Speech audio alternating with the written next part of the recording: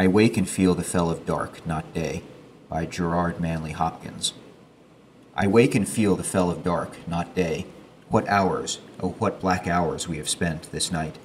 What sights you, heart, saw, ways you went, and more must, and yet longer lights delay.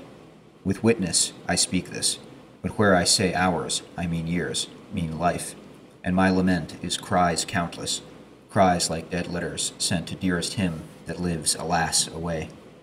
I am gall, I am heartburn, God's most deep decree, bitter would have me taste. My taste was me, bones built in me, flesh filled, blood brimmed the curse, self yeast of spirit, a dull dough sours. I see the lost are like this, and their scourge to be, as I am mine, their sweating selves, but worse.